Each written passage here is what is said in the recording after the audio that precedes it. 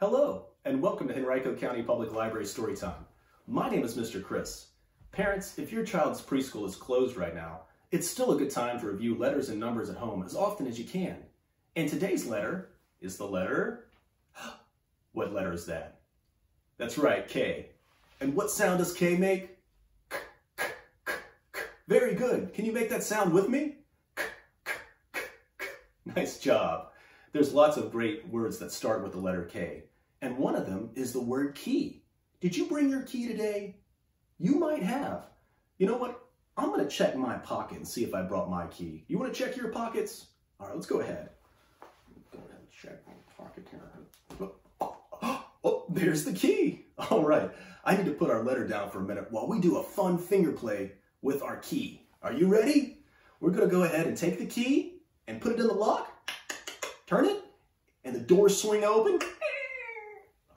And we just opened up the kingdom. Wow, look all around the kingdom.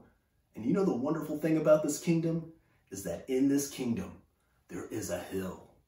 And on this hill, there is a town. Can you make a town with me? And in this town, there is a street.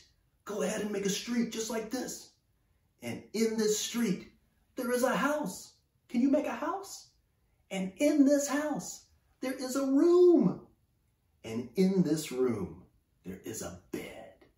And on this bed, there is a basket. And on this basket, there is a blanket. Would you like to lift up the blanket with me and we can see what's in the basket? You want to?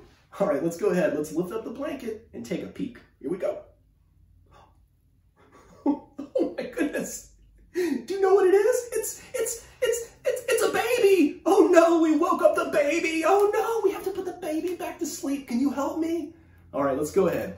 Let's put the, let's put the blanket on the baby, baby in the basket, basket on the bed, bed in the room, room in the house, house on the street, street in the town, town on the hill.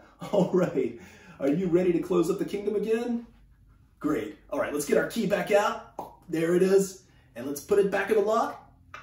And let's close the doors. Here we go. And lock it up tight. All right. And you can put that key back in your pocket and you can get it out later today. All right. Well, thank you so much for talking about the letter K today and doing a fun finger play. I'll see you again soon. Bye.